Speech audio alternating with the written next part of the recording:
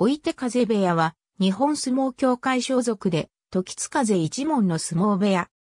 1937年5月場所に現役を引退して、以降は、二十歳山部屋の部屋付き親方となっていた年より、八代追手風が、1938年1月に3人の内弟子を連れて二十歳山部屋から分家独立して追手風部屋を創設した。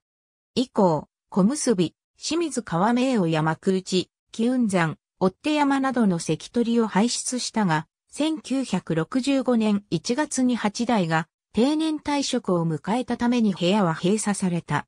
当時関取だった追い風山をはじめとする所属力士は、立浪部屋へ移籍した。追い風山は引退後10代追い手風を襲名し、立浪部屋の所属になっていた。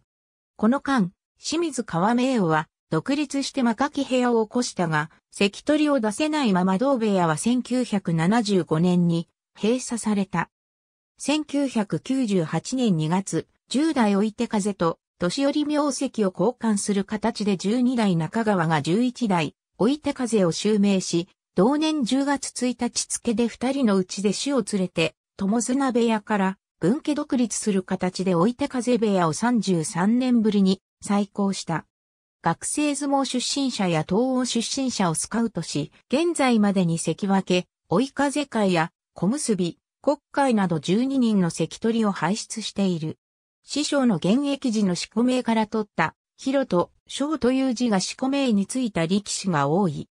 2005年7月場所以降は、所属関取が国会のみという状況が続いていたものの、2008年11月場所で、大将子が2003年5月場所における国会以来5年半ぶりとなる新重量昇進を果たした。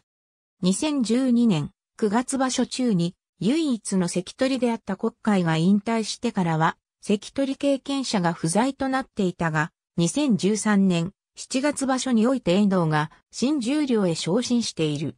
2018年3月場所以降は、関取7人を要する一大勢力となっている。2016年10月19日に理事会において、師匠辞任勧告を受けて一時閉鎖となった春日山部屋から21代春日さんをはじめ、所属力士ら全員を受け入れた。2016年12月22日、それまで所属していた伊勢ヶ浜一門から時津風一門へ移籍。